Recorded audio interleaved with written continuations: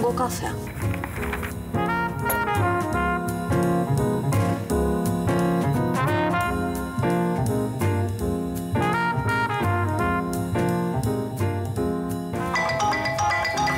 Da, am ajuns.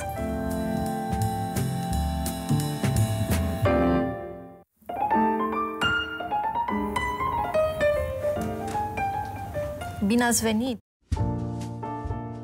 Măreția și unitatea desăvârșită a pământului văzut de sus m-au învățat să fac binele, mărturisește Dumitru Prunariu, primul cosmonaut al României.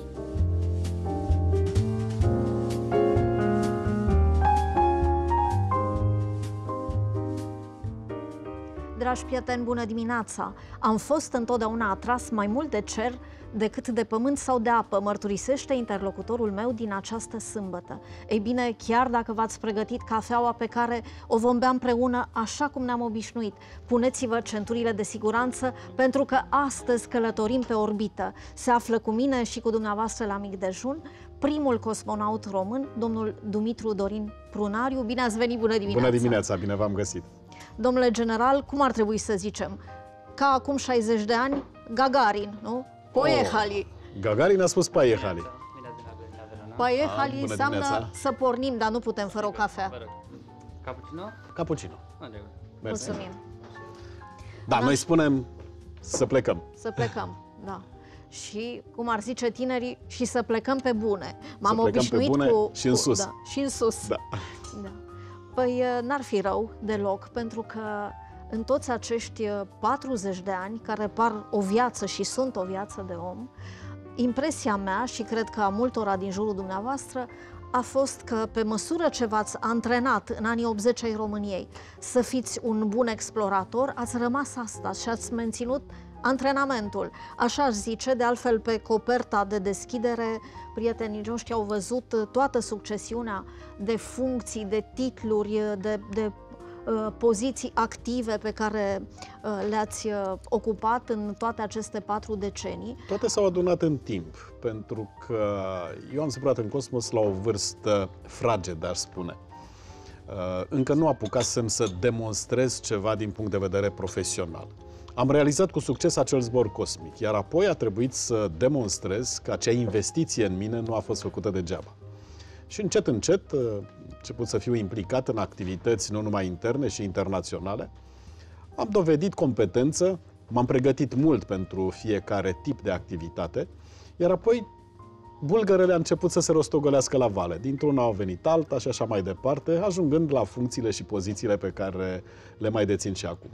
Sunt multe și foarte importante. Dacă aș vrea să fiu formală, v-aș spune chiar, domnule general, asta să se înțeleagă că această navă nu merge de capul ei. Astăzi avem un general la bord, un general locotenent. Asta înseamnă trei stele. Trei nu? stele, da.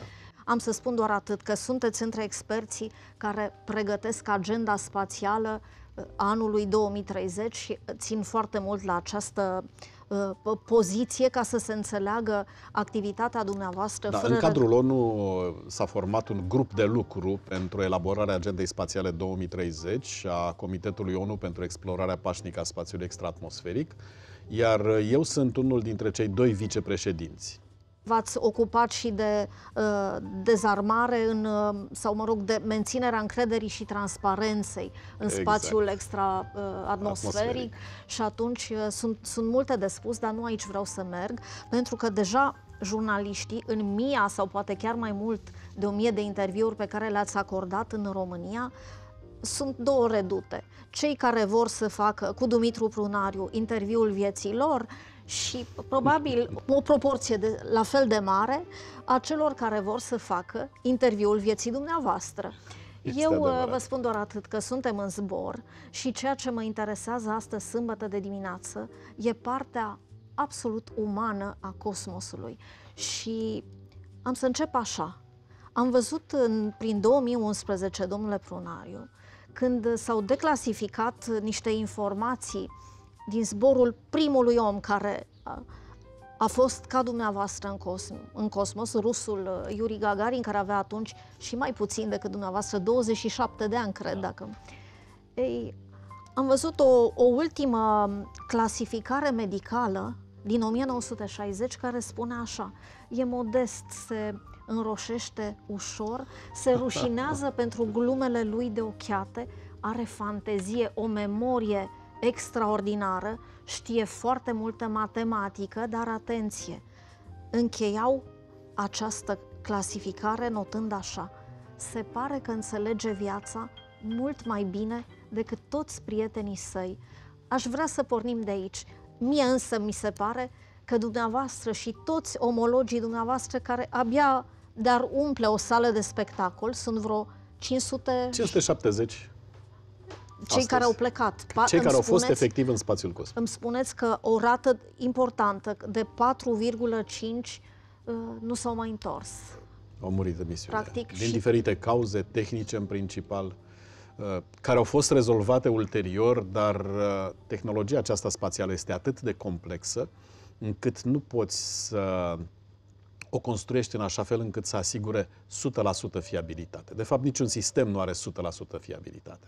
Ați spus odată într-o mărturisire că în cazul lui Gagarin, pe care l-am evocat acum, pentru că tot se fac 60 de ani, dacă s-ar fi spus adevărul atunci, în momentul lansării, s-ar fi știut că doar 50% aveau, avea șanse să se întoarcă viu. În exact. misiunea dumneavoastră, care era procentajul? Procentajul 98%.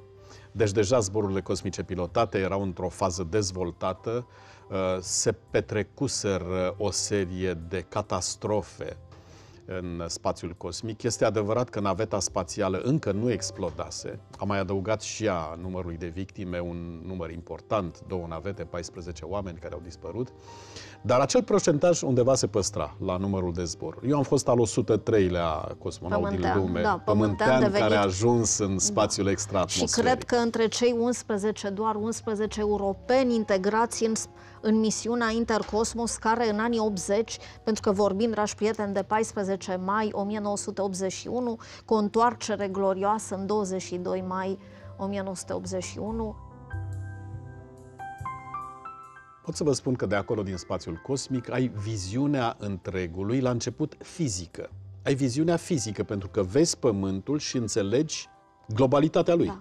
Abia după ce te întorci din spațiul cosmic, având în permanență această imagine a Pământului, începi să ai și viziune, o viziune globală despre alte aspecte ale vieții pe Pământ. În 1985, când ați fost între puținii fondatori ai acestei asociații internaționale a exploratorilor spațiului cosmic. spațiului cosmic, e grozavă această inițiativă, toți acești exploratori se aseamănă și se aseamănă prin înțelegere și prin emoție. Când am fondat-o în 1985, inițiativa a aparținut unui american, unui vechi prieten de-al meu, astronautul Rusty Schweikart, care a zburat cu Apollo 9.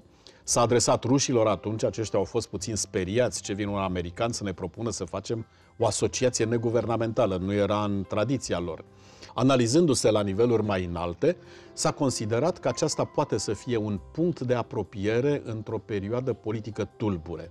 Războiul rece, ca Războiul să rece, exact, da. cum era atunci. Iar această asociație a adus la un loc oameni din sisteme diferite, din țări diferite, dar cu viziuni asemănătoare asupra Pământului și problemelor lui. Adică cu aceeași trăire a revelației, domnule Prunariu, exact. acolo vreau să rămânem, pentru că Sigur, în, în anii 80 ai României și probabil mai mult după momentul 89, foarte mulți cârcotași și denigratori s-au gândit, am auzit eu însă, s-au întrebat uh, cum a fost posibil să vă lase regimul lui Ceaușescu să plecați lângă Paris, să fondați această prestigioasă asociație internațională a exploratorilor spațiului uh, cosmic. Și de aici au fost o mulțime de insinuări și păreri, acum toată lumea are uh, câte o părere. E adevărat că a, ați muncit dur, enorm, supraomenesc pentru acest pas în cosmos. Și mie personal mi se pare că era de la sine înțeles ca după asta, ca după ce ați revenit teafăr, să aveți măcar această puțină bunăvoință din partea regimului, plus că erați deja un suport de imagine, dincolo de propaganda comunistă și de tot ce am mai putea spune acum uh, despre anii 80 ai României, Volens Nolens zburaserăți cu rușii lui, lui Breșnev, dar uh, uh, erați un, un erou al României și un erou al României. Chit că Rusia cred că v-a făcut, uh, URS, fostul URSS v-a, v-a acordat întâi acest titlu. Nu? În Sau ele au fost protocolul simultane? semnat între România și URSS atunci era prevăzut clar tot ceea ce urma să se întâmple, inclusiv tipurile de decorații care urmau să fie acordate membrilor echipajului internațional dacă misiunea se termină cu succes. Deci totul a fost planificat, agreiat, nu s-a trezit Breșnev pur și simplu că vrea să-mi dea mie un anumit titlu. Era prins în documentele oficiale și pentru că am încheiat cu succes misiunea, și mie și lui Popov ne-a dat titlul de erou al URSS, iar Ceaușescu aici ne-a dat amândurora titlul de erou al României. Vreau să fac o paranteză importantă pentru cei care ne văd și ne ascultă. Eroi ai României în momentul întoarcerii dumneavoastră 22 mai 1981 erau doar Ceaușescu, Nicolae soția. și soția. În acea perioadă, titlul de erou fusese conceput ca un titlu politic. Deci a fost conceput pentru a-i uh, onora pe conducătorii țării. Nimeni nu s-a gândit că acest titlu va fi acordat și unor oameni de rând, unor oameni obișnuiți Și mai pentru ales niște vii, fapte pentru că mie îmi suna, reale de da, eroism. mie îmi suna ca un, uh, iertați-mă, Da, ca da, un da. titlu post-mortem și vreau să mai adaug aici realitatea dură că la 29 de ani ați devenit conștient de faptul că în momentul în care ați fost lansat pe orbită, aveați deja necrologul pregătit, să se știe asta. E o probă psihologică dură. Din V-ați păcate. simțit uh, iubit de români în toți acești 40 de ani? Da, da. Trebuie să că- spun că m-am simțit într-adevăr iubit de români. Imediat după zborul cosmic, în România a fost o euforie generală, care a speriat puțin regimul politic. Pentru că, îl depășați pe marele conducător, e clar. ca În imagine ceea ce pentru nu o se putea perioadă de întâmpla. timp, am fost în centrul atenției întregului popor. Aș putea spune Da, așa, e adevărat. deși sună puțin comunist.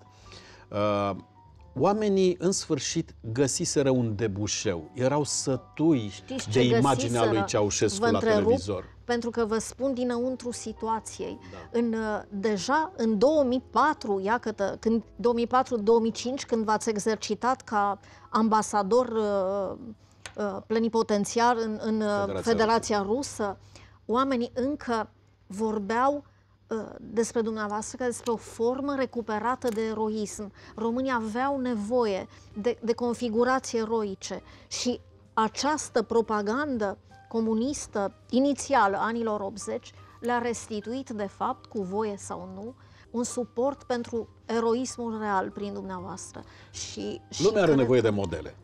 Indiscutabil. Tinerii sunt în. Uh, mulți dintre ei sunt într-o stare confuză, de derutare.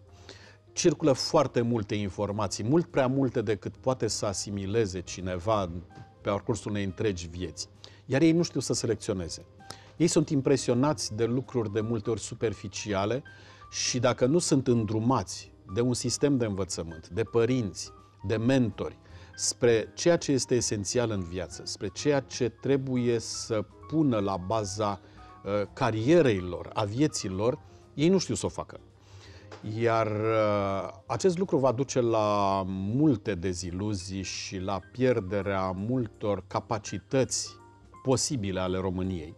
Tinerii se pierd. Și uh, un mentor, un model, reușește să le canalizeze atenția spre un anumit domeniu. Dumneavoastră personal ați făcut asta, trebuie să o spun. O fie fac și în des, teatru. o fac des, sunt invitat Ați- în școli, o fac Ați online și predat acum. uh, la Da. Academia de, uh, de Științe uh, Economice, la Politehnică și n-am să deschid lista, dar știți, intuiți ce v-ar întreba acum orice tânăr. Cum a fost când v-ați întâlnit cu, cu Putin și el uh, a luat așa cu vârful unghiei, s-a uitat cumva la medalia de pe reverul dumneavoastră, care era o medalie a fostei Uniuni Sovietice, dar care e încă recunoscută, Da, este uh, recunoscută în, în acolo. Moscova. Este recunoscută. Am avut uh, ocazia de-a lungul carierei mele să mă întâlnesc cu mulți șefi de stat. Iar de la ruși, începând cu Brejnev, care mi-a semnat decretul de erou al URSS, A fost prietenos Până la- pentru că Ceaușescu Um, era destul de rezervat Dar atunci când Ceaușescu v-a a pus... fost mai rezervat decât Brejnev. Brejnev uh, părea dintr-o bucată. Când îi vedea pe cosmonauți, se repezea, îi lua în brațe, erau eroi omenirii. Pentru ei, cultul cosmonauților a reprezentat uh, o politică întreagă de promovare a imaginii unei țări care face lucruri deosebite, care realizează științific multe lucruri. Așa cum la americani uh, zborul spre lună a căutat să schimbe imaginea Americii în ochii întregii lumi și după războaiele, pierderea um, conflictului din Cuba, din Golful Porcilor, războiul din Vietnam, trebuia cumva schimbată imaginea Americii, iar zborul omului pe lună a schimbat complet. Toată lumea era fascinată de ceea ce au reușit să facă americanii. La fel și la ruși. Cosmonauții au fost considerați și tratați întotdeauna ca niște eroi și ca niște exemple pentru omenire, pentru tineret. Dați-mi voie să spun, poate asta întregește cumva peisajul și contextul. Armstrong, în 20 iulie 69, când, când a pus piciorul pe, pe lună, cu acele cuvinte celebre, de fapt a lăsat în solul lunar și un medalion comemorativ în care era și, trecut și rusul Gagarin, deși era război rece, și ceilalți trei astronauți confrați care își pierduseră viața într-o da. misiune da. anterioară. Cu Soyuz 11, prima misiune la bordul primei stații orbitale sovietice. Dobrovolski, Volkov și Patsaev. S-a dezermetizat nava la revenirea pe pământ și au dispărut. Nu mi-ați răspuns despre Putin. Ați gândit? V-ați îmbrățișat sau nu? Nu era nu, pandemie nu, nu, atunci, nu, deci nu, a fost nu. rezervat, deci, dar totuși zâmbitor. se purta ca da. un șef de stat. Așa. Dar era foarte amabil uh, și direct. Eu am avut ocazia să-l întâlnesc uh, la o aniversare a zborului lui Gagarin în 2001, uh, în care a venit la o întâlnire cu cosmonauți în orășelul stelar, unde eram invitat și mai mulți străini. Iar acolo s-a așezat în fund pe o masă și a început să discute foarte prietenește cu toți care eram în Avea sală. Avea acea aură de despot care impresionează și crispează. Mulți vorbesc despre nu. asta. N-ați simțit-o? Nu. nu. Interesant. Deci avea imaginea unui om normal. Desigur, aura de despot și o impune acolo când, unde când are nevoie, cazul, da. când este cazul. Apoi am ieșit afară pe scările Casei de Cultură din orașul cosmonauților, am făcut o fotografie, iar eu eram chiar în spatele lui, alături de alți cosmonauți. Și aveam acea fotografie în momentul în care am fost să-mi prezint scrisorile de acreditare la Moscova în calitate de ambasador al României. Sigur, când am ajuns acolo, imaginea mea în ochii oficialităților ruse era complet schimbată. Din prietenul lor, cosmonaut, erou al URSS, cel care vine, bea împreună cu ei, participă la întruniri științifice, dintr-o dată eram să ambasadorul spun, unei țări NATO. Să spun, un general, general activ general al activ, unei țări NATO. Și dintr-o dată am fost pus la colț. Pentru că toți cei cu care am colaborat acolo în calitate de ambasador da. erau oficiali și oficialii m-au pus la colț. În schimb, misiunea mea a fost să construiesc, să deschid relații. Această misiune am primit-o de la președinte, am primit-o de la Parlament, am primit-o de la Guvernul României pentru că relațiile ajunseseră atât de tensionate și de reci, Adevărat. încât uh, nu se mai putea aproape nici comunica la niciun nivel. Știu asta și cu toate astea, în această încordare, ați pus problema tezaurului, ați discutat atunci despre Transnistria și conflict. Vreau să mai spun și alt adevăr. Ce păcat, domnule Prunariu, că un președinte nou care s-a instaurat, președintele Băsescu, n-a putut să vadă fructele, să, să privească de sus ce, ce am fi cules noi, toți românii, din colaborarea dumneavoastră, din activitatea dumneavoastră ca ambasador, va, va retras prea repede. El a văzut ce a avut de văzut, dar interesele lui erau puțin altele. Uh, următorul ambasador care a fost numit după mine a stat numai 2 ani, numit de el. I-a rezolvat niște treburi pe acolo, apoi s-a întors acasă. Deci eu nu eram și nu am fost omul compromisurilor. În momentul în care am fost numit șeful aviației civile, am uh, făcut și un curs special în Canada pentru cadre superioare din domeniul aviației civile și m-am întors de acolo cu o imagine mult uh, mai profesională asupra ceea ce aveam să fac în acest domeniu și am venit cu o serie întreagă de propuneri pe care, pe atunci, ministrul transporturilor Băsescu mi le-a respins. Erau oricum nepopulare. Ați venit da. cu concepte noi. Și pentru că am insistat totuși să ia în considerare acel raport al meu, L-am depus la registratura Ministerului Transportului și am spus dacă nu-l iei de la mine direct, o să-l iei prin registratură sub semnătură. atât de tare s-a înfuriat încât a doua zi a venit și m-a schimbat din postul de șef al aviației civile. Ei bine, ne-am revăzut ulterior, el președinte, eu ambasador al României, la Moscova. Aceste frecușuri au rămas undeva.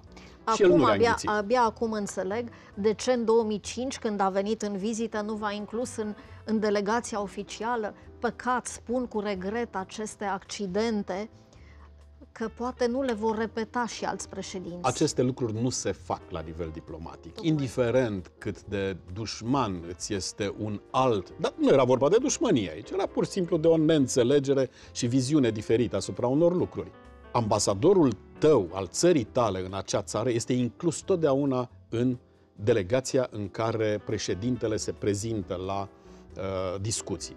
Am avut ocazia să particip la o întâlnire oficială a, pe atunci primului ministru al României, uh, Adrian Năstase, Da. cu președintele Putin. Și au avut loc niște discuții deschise. Efectiv, s-a convenit asupra unor lucruri, ni s-au cerut detalii și despre tezaur, care nu au mai fost trimise de acasă niciodată, nu știu de ce și n-am reușit să intru în amănunt, iar acum chiar nu mă mai interesează problema. Iar uh, președintele Putin a încercat să-i vândă niște gogoși, în ghilimele, uh, lui Adrian Năstase. Uh, eu mi-am însușit acele puncte de vedere și am găsit și răspunsurile din partea română pentru a contracara acele argumente ale Federației Ruse. E bine, când a venit președintele Băsescu, nu m-a inclus în delegație, a venit cu punctele lui de vedere, a înghițit acele gogoși pe care le-a vândut partea care au rusă fost servite. care da? au fost servite. Uh, Unele am reușit să le dezamorsez în discuția de a doua zi cu președintele Băsescu, înțelegând, făcându-l să înțeleagă unde se bate cu anumite elemente. Ulterior uh, am fost uh, chemat acasă.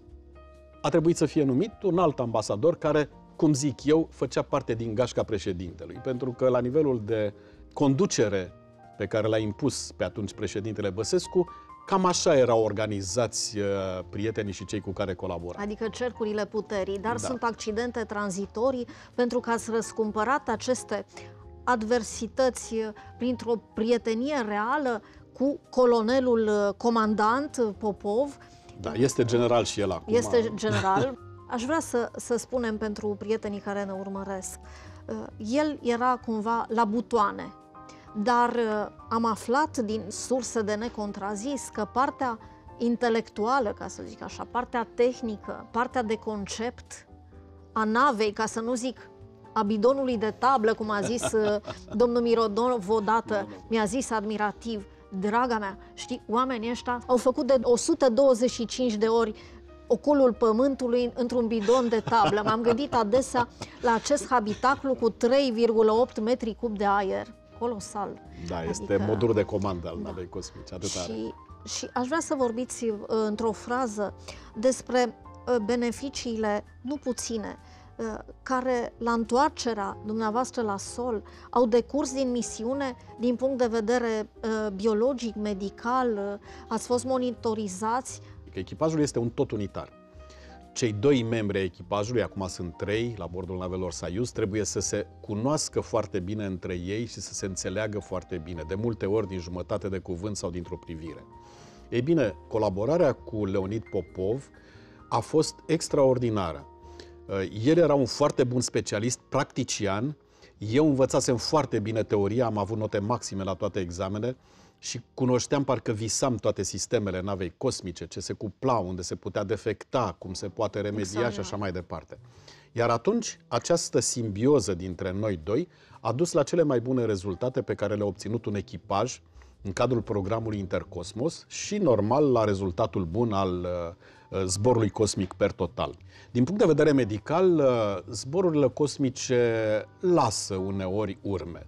Gândiți-vă că unii zboară și câte un an de zile în spațiul Am cosmic. fost uimită că după atâta excelență medicală, totuși Armstrong a murit de leucemie. Uh, Bine, poate că erau și sechele ale misiunilor lui militare dure.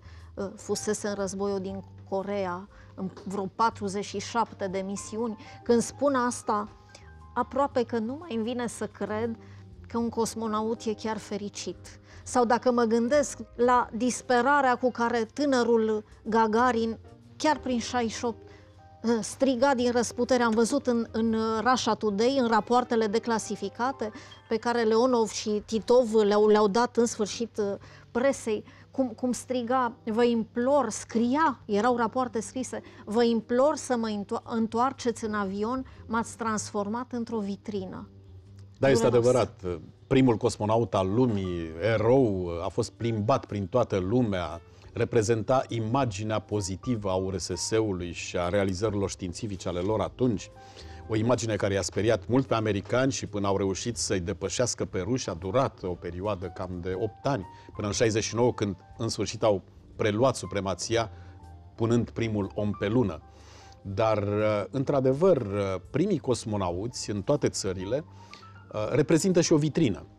Uh, a trebuit să mă împac și eu cu această idee, greu, dar m-am încăpăcat în final. La Brașov, când încă nu visați cosmosul și aveați 17 ani și ați văzut la televizor aselenizarea, că da. vreau să spun că România, grație extraordinarilor uh, uh, relații diplomatice pe care le avea cu Statele Unite, a fost singura țară socialistă care, care a, a transmis, a transmis acest moment istoric. Și, și ați văzut uh, chiar dumneavoastră în plină vară acest pas pe lună dar după asta, care era modelul? Pe atunci nu mă gândeam încă la un zbor al României în spațiul cosmic. Mi se părea că este ceva foarte îndepărtat pentru țara noastră, că nu vom accede niciodată la o astfel de tehnologie.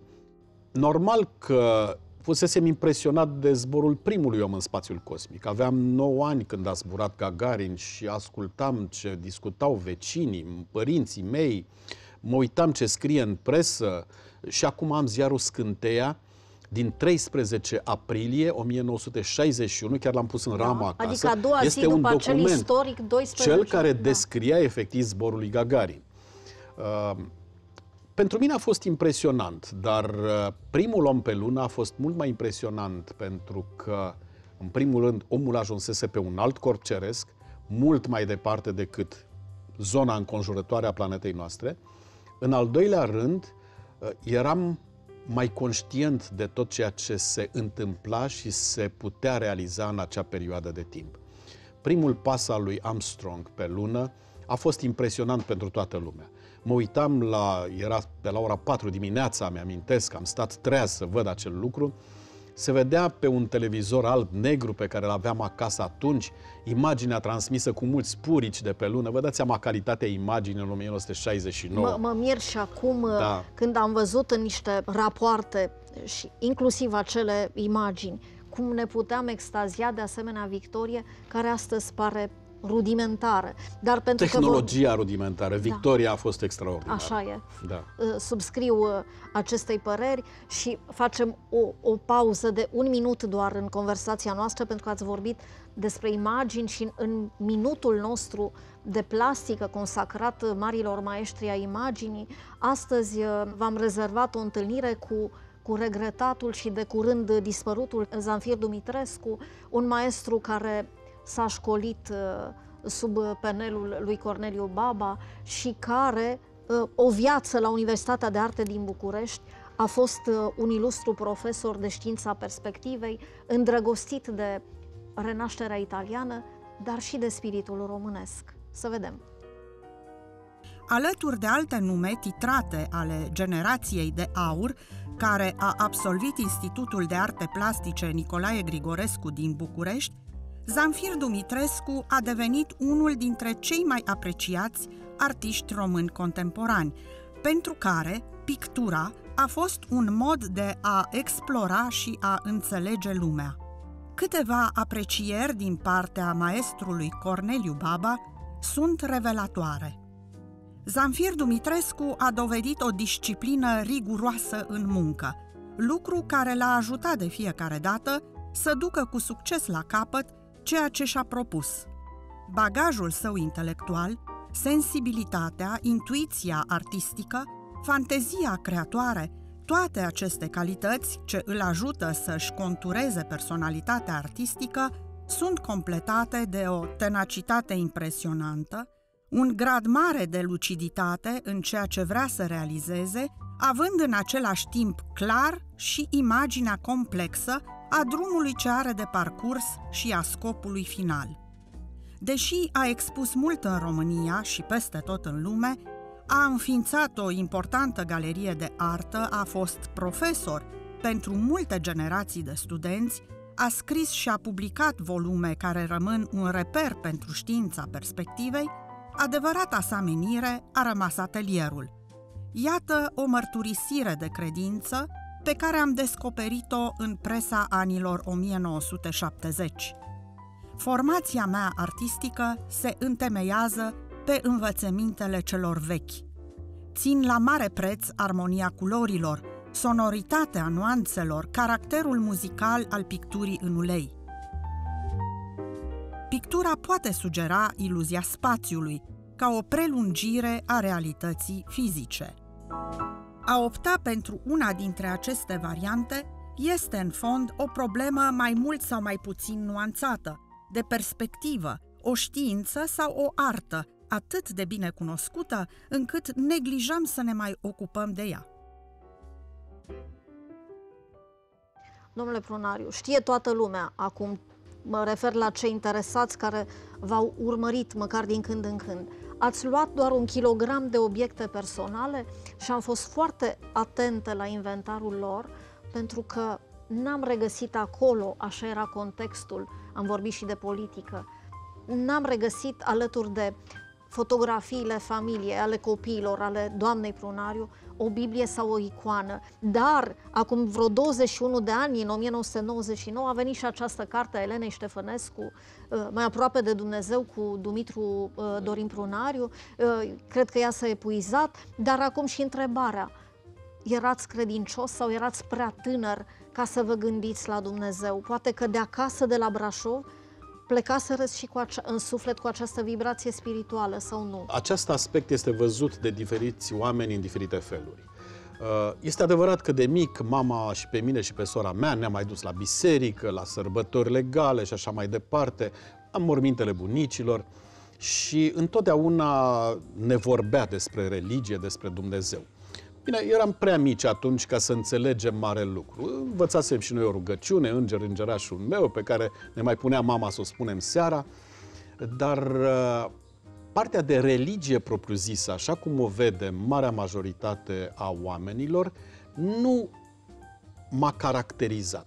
Eu am considerat întotdeauna că acel Dumnezeu, acea energie universală care guvernează ceea ce se întâmplă în univers, nu numai pe pământ, și în alte sfere, aceasta are o corespondență în sufletul fiecărui om.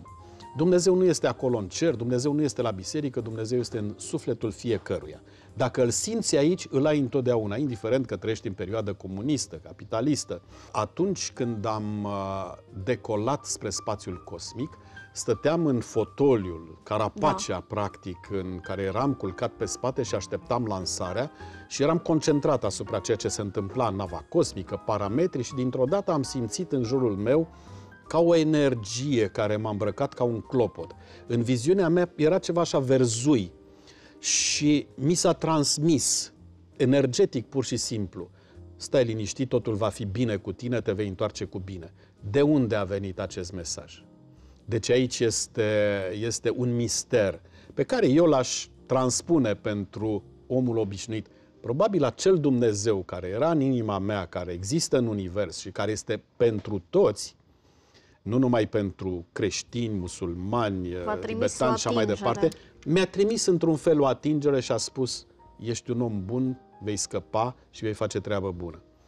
Prin aceasta, cred că am dat un răspuns la ceea ce uh, reprezintă pentru mine credința în Dumnezeu. Tot în acest mister rămân, domnule Dumitru Prunariu, cu emoție, pentru că ați spus la un moment dat și reiau impresionată această declarație în alt fel, că de fapt nu trebuie să ne gândim la muzică în cosmos și în spațiu.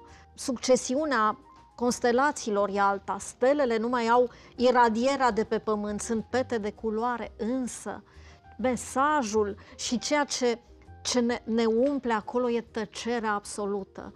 Și ați spus așa că într-o, într-o tăcere de început de lume, dintr-o dată ceasul de bord, care atunci era electromecanic, v-a anunțat, nu? Ce, ce Ne-a moment anunțat că am ajuns în imponderabilitate. extraordinar.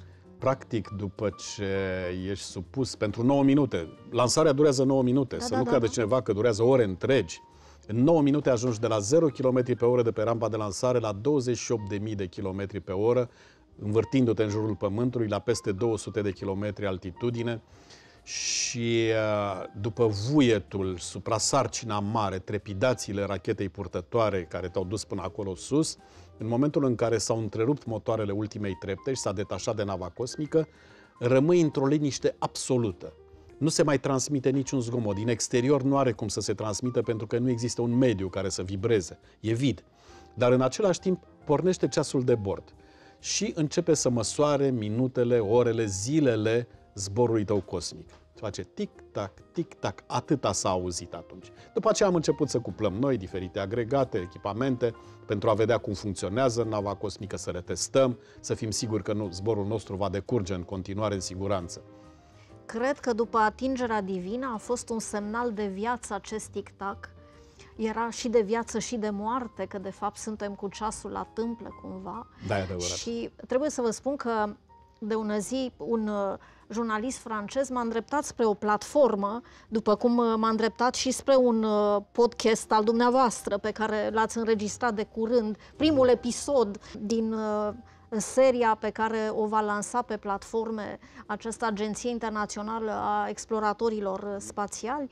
Uh, și poate că mai există acest site, uh, First Orbit, în care un film sigur, care păstrează poziția soarelui și a, norii nu mai sunt ca acum 60 de ani, și, uh, dar este vocea lui Gagarin, cumpărată uh, de inițiatorul filmului și suprapusă pe aceste imagini color. Ei, la un moment dat, în vuietul de, despre care vorbiți, se face această liniște pe care poate doar Dumnezeu a avut-o peste ape la început și el spune, văd pământul, este minunat. O spune în rusă cu un tremur al vocii pe care niciun fel de radio nu l-ar putea m, cumva uh, explica, multiplica, uh, nuanța mai mult decât a făcut-o el. Și vă duc uh, în final sp- spre nu doar spre dragostea dumneavoastră pentru Marte, curiozitatea științifică pentru această planetă care e rarefiată și nici măcar nu, nu are o platoșă pentru radiații. Ar fi ceea ce citim acum, că v-a plăcut uh, filmul lui Ridley Scott, nu? Da, mi-ați, da, mi-ați vorbit da. despre el, uh, că poate se mai găsește uh, ac- a- acest film Marțianul. din Marțianul, da. Eu am citit uh, cartea la început. Știți că e un volum Și eu de... la fel, întâi am citit cartea, apoi am Știți că văzut e filmul. un volum de debut Da. și e uh, uimitor cum un tânăr născut în 72 în America și acest uh, britanic, care deja e săr acum, uh, aproape octogenar, își dau mâna și fac o ecranizare și ne trimit o utopie fericită despre un Marte care ar putea fi prietenos. Suntem departe de asta, dar spuneți-mi în final dacă Musk, cu celebrele lui uh, inițiative cosmice, ar putea să o ia înaintea, să zicem, unui institut ca NASA, care are doar 19 miliarde de, de dolari buget Bugetul anual. anual, da, și poate Elon Musk va trimite înaintea uh, Să nu uităm tuturor că Elon turiști cosmici. Musk este primul privat da. care a construit și construiește nave cosmice mai eficiente decât cele construite guvernamental, efectuează lansări mai ieftine decât le realizează orice altă agenție spațială, pentru că a venit cu multe soluții inovative și a considerat că rachetele trebuie recuperate și reutilizate. De ce să construim de fiecare dată o rachetă atunci când dorim să lansăm un satelit? Extraordinar. În momentul în care zburăm cu pasageri, să spunem, de la Paris la New York, Da. nu abandonăm avionul acolo și construim altul să-i aducem înapoi, ci folosim același avion. Ei bine, prin acest concept, Elon Musk a luat-o mult înaintea uh, constructorilor de rachete din alte părți ale lumii, deja construiește un Starship, o rachetă gigant cu un diametru de 9 metri. Rachetele actuale au un diametru cam de 2 metri jumătate, 3 metri, 4 metri, înaltă de aproape 150 de metri, care va putea să transporte spre lună și spre Marte până la 40 de oameni odată. Nu spun neapărat astronauți. Vor deveni astronauți prin zborul lor în cosmos. Vor fi turiști Dar cosmici turiști cu buzunare sau grase. oameni de știință Da. sau industriași care vor construi ceva acolo. Ei bine, Elon Musk are deja contract cu NASA pentru a trimite în cosmos astronauții NASA. Se află deja la al doilea zbor, la al doilea zbor cu navele lui proprii, Dragon, uh, în care ultima dată a dus patru astronauți ai NASA spre Stația Cosmică Internațională. Unul dintre astronauți este japonez, printre altele. Și cu aceste nave, într-o altă configurație, ar putea să ducă oameni și spre lună. Pentru lună însă construiește acest Starship. Iar această navă, care este alimentată mai puțin tradițional, combustibilul este alcătuit din metan și oxigen lichid, el considerând că pe planeta Marte se va putea produce metan mai ușor decât alte tipuri de combustibil. Este plauzibilă această Este plauzibilă, ipoteză? da. Deci, Inc- Elon Musk inclusiv, inclusiv faptul că va putea fi al- alimentată nava chiar de pe planetă, de pe Marte sau de pe Lună? Da, sau... da, da. Deci, uh, într-o fază ulterioară, după ce va ajunge acolo și va pleca înapoi spre Pământ, se vor construi baze umane care vor uh, pune pe picioare baze de producție. În primul rând, pentru oxigen, pentru a putea respira normal. Și să nu uităm că atmosfera lui Marte este compusă cam 96% din dioxid de carbon. Deci carbon și oxigen, acesta trebuie doar separat oxigenul din carbon și folosit oxigenul. Dar, tot așa, din Marte se poate produce metan, spune Elon Musk. Iar Elon Musk este un uh, om uh, nu numai industriaș, și om de știință, este o persoană cu un IQ foarte ridicat, întreprinzător. Eu am avut ocazia să-l văd la o conferință în Australia și am stat în primul rând, mă uitam fascinat la ceea ce prezenta. Era efectiv ca un copil mare, ca un băiețel care a dat niște jucării, e adevărat foarte scumpe, care costă miliarde și se joacă cu ele și le combină în toate felurile și caută soluții pentru ca acestea să rezolve probleme ale omenirii. Deci Elon Musk, visul lui este de a forma colonii umane pe Marte. Și sunt convins că singur sau în colaborare cu NASA va duce oameni pe Marte undeva peste maxim 20 de ani, poate chiar mai puțin. Tocmai de curând a apărut o știre că primele elemente ale unei stații orbitale pe care NASA o va construi în jurul lunii vor fi trimise spre lună cu rachetele Falcon 9 sau Falcon Heavy ale lui Elon Musk. Deci, uh, contractele lui cu NASA, uh, cu Departamentul de Stat, cu câteva agenții uh, din secrete, să spun, sau chiar cu Pentagonul ale Statelor Unite, vor plasa pe orbită numeroase obiecte spațiale, inclusiv guvernamentale, pentru că navele lui au ajuns să fie cele mai eficiente și cele mai ieftine în exploatare în momentul de față. Da, e de știut. Nu mi-au rămas uh, secunde pentru a vorbi un pic despre întoarcerea astronomiei în școli, care ar fi atât de ut- utile. Of, da. Am uh, doar uh, o clipă ca să vă fac o recomandare de lectură, dragi prieteni, uh, pentru această sâmbătă, un roman despre uh, atmosfera și uh, tribulațiile nefericiților ani 80 în România, Veronica Deniculescu, toți copiii librăresei. Și ca să nu închei în această notă, vreau să pun un strop de optimism aici, domnule Prunariu, și să-mi răspundeți pentru ultima întrebare. Cum vă vedeți uh, la aniversarea a 50 de ani de la misiunea dumneavoastră? Peste, pentru că acum, peste câteva zile, vor fi 40 de ani, dar la 40 de 50... ani. Această pandemie ne perturbă mult în organizarea evenimentelor legate de aniversarea rotundă a zborului meu cosmic. Mi-amintesc că acum 5 ani, la 35 de ani, am avut 12 astronauți din 8 țări invitați, inclusiv americani, ruși, europeni, și am avut evenimente la nivel foarte înalt. Am fost primiți de președintele țării, la Parlament, am efectuat câteva vizite oficiale. Am avut uh, o scenă întreagă pentru o zi în care am vorbit oamenilor despre cosmos. Au fost prezentate filme, documentare, imagini cu noi. În uh, spatele Bibliotecii Naționale, acolo unde s-a organizat tot, au venit într-o jumătate de zi peste 6.000 de oameni să ne vadă. Ne-am fi dorit ca la 40 de ani evenimentele să fie mai consistente, mai cuprinzătoare și să trezească interesul tinerilor, mai ales pentru acest domeniu de activitate. Pe lângă aceasta, să le amintească că în România s-a făcut și se mai face ceva în domeniul cosmic. E greu să-mi imaginez acum ce va fi la 50 de ani.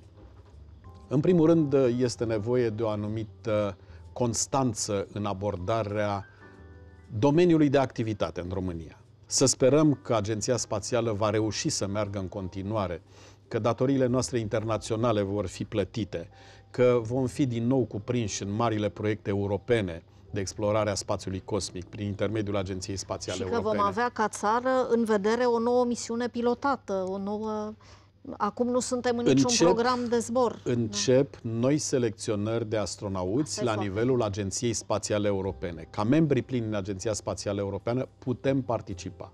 Înscrierile se vor face pe site-ul Agenției Spațiale Europene.